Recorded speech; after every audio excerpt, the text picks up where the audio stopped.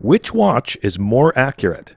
This $17 Chinese watch made of chrome plated plastic, or this $10,000 Rolex? If you're a watch aficionado, you already know the answer. The more accurate watch, by far, is the $17 plastic watch. Because this is not a question of quality, it's a question of technology. That coming up next.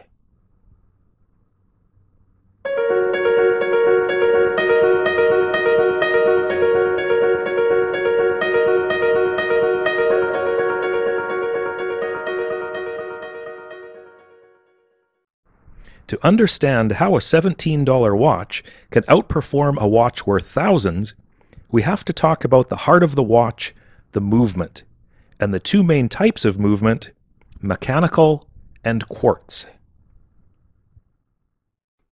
This is what a basic mechanical watch movement looks like. In this case, a clone of a Swiss ETA movement.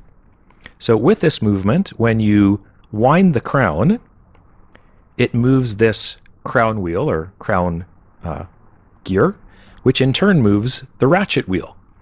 Underneath the ratchet wheel is this, a barrel.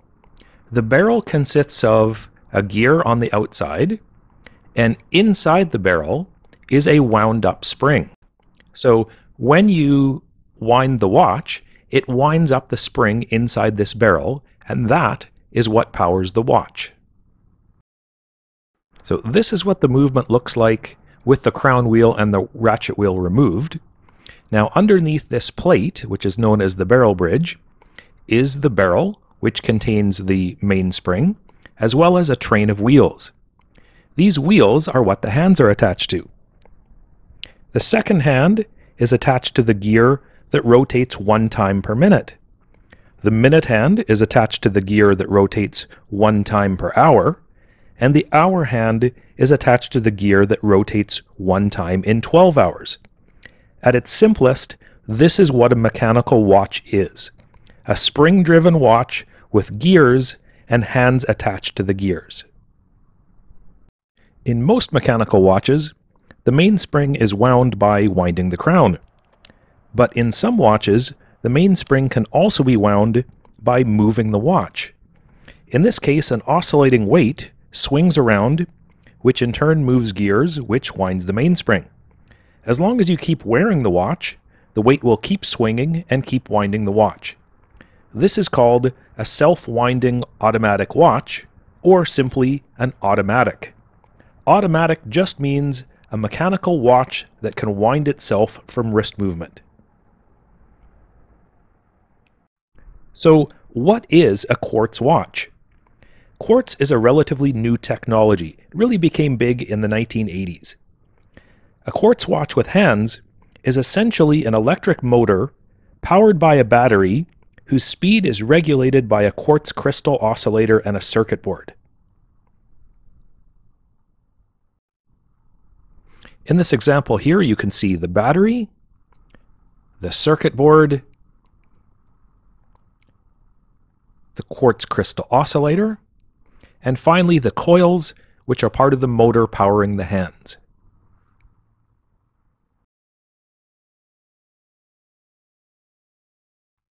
Generally speaking, a $5 quartz movement is more accurate than a mechanical movement at any price.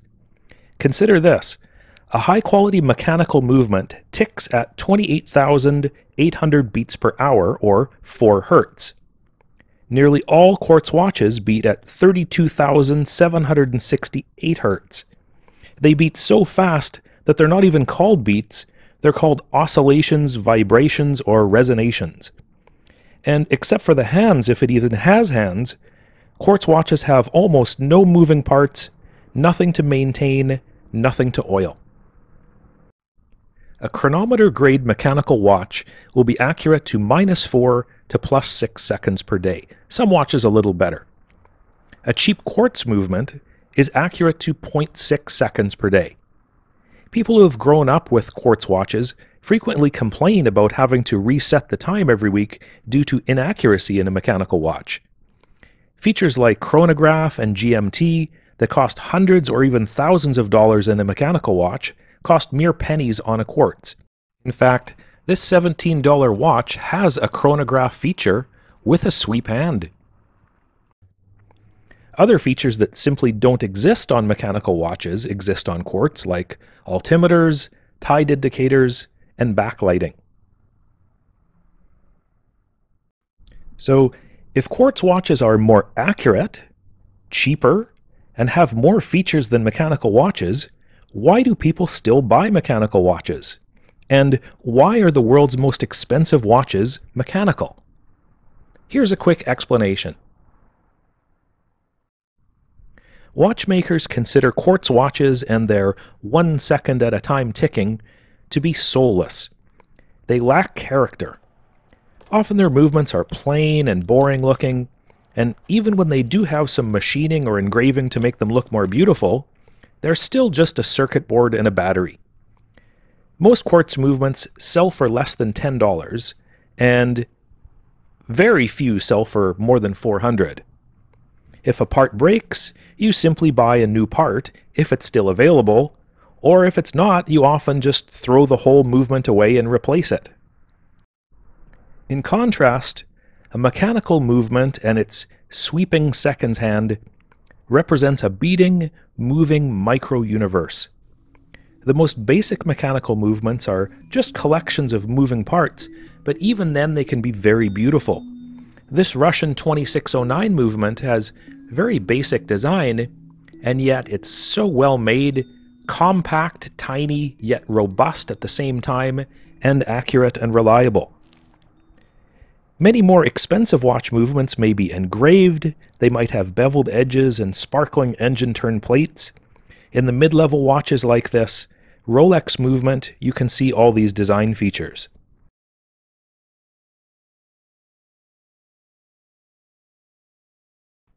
Some movements require hundreds of hours of sculpture work done by hand, and it's at this point that utility begins to change into art and art has no price limit. If a part breaks on a mechanical movement, a watchmaker can build a new part even if the watch is a hundred years old.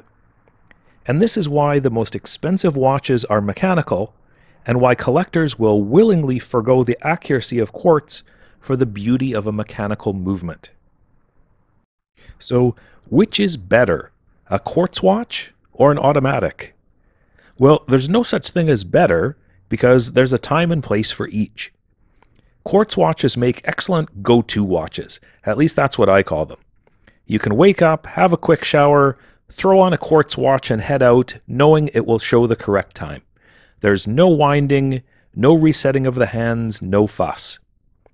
Most women's watches are quartz after manufacturers discovered that women tend to wear their watches as accessories and often don't wind or set the time on their mechanical watches anyway.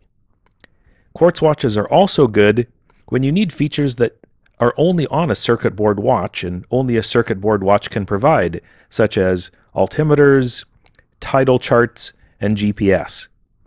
Quartz movements are also very robust because of the lack of moving parts, and so are often used for sports and military watches. In contrast, mechanical watches are for those important meetings, the big date, the relaxed long weekend, anytime you want to feel good by having a purpose built anachronism on your wrist. Wearing a mechanical watch feels different. It can feel like stepping into a time machine, or, in the case of a high end watch, like being royalty. Some of the world's best watchmakers build only mechanical watches, not even self winding. They would like you to take a Zen moment out of your day, wind the movement methodically, appreciate the majesty of the movement and the history of the watchmakers that came before them, and feel the real connection to the watch. Well, now you know the difference between a $17 quartz watch and an any price mechanical watch. You know the basic differences between the movements, and you know the pros and cons for each. I hope you enjoyed this video, it's been a pleasure making it, and there are many more to come, so if you haven't already done so, hit that subscribe button. And please note For some of these items there are links in the comments. Thank you very much, and I will see you in the next video.